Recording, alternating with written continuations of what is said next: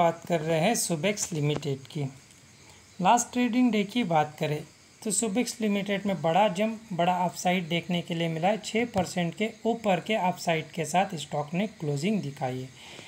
हमको बड़ा जम देखने के लिए मिला था। और इस जम के साथ स्टॉक ने अपने मेजर रेजिस्टेंस को ब्रेकआउट किया है। थर्टी फोर का लेवल जहाँ से मल्टीपल्स टाइम स्टॉक रिजेक्शन ले चुका है। थर्टी फोर का लेवल हमने डिस्कस भी किया था कि 34 के लेवल का ब्रेकआउट इंपॉर्टेंट है लगातार तेज़ी के लिए।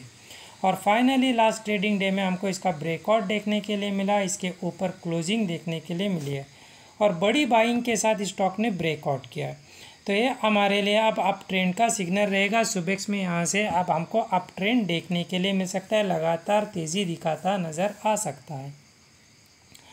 अब अगर यहाँ से गिरावट आती है तो जिस लेवल को ब्रेकआउट किया, जिसको हमने मेजर रेजिस्टेंस के तौर पर डिस्कस किया था, थर्टी फोर का लेवल, ये इमीडिएट सपोर्ट रहेगा और तगड़ा सपोर्ट रहेगा। और जब तक स्टॉक इस लो के ऊपर है, जहाँ सपोर्ट लिया था इससे पहले, ट्वेंटी नाइन थर्टी का लेवल, जब तक इसके ऊपर है, तब तक आप साइड के चांस सुबेक्स में बने हुए हैं। तो यहाँ से हमने बड़ी बाइंग के साथ हमको ब्रेकआउट देखने के लिए मिला है और जब जंप आया था तो बड़ी सेलिंग भी देखने के लिए नहीं मिली। तो यहाँ से और अप ट्रेंड दिखा सकता है और बड़े टारगेट सुबेक्स में आने वाले दिनों में देखने के लिए मिल सकते हैं। इमीडिएट टारगेट की बात करें तो यहाँ से इमीडिएट टारगेट रहेगा थर्टी एट का level immediate target thirty eight के लेवल को ब्रेकआउट कर जाता है। तो नेक्स्ट टारगेट फोर्टी का लेवल जो कि इसका रजिस्टेंस है।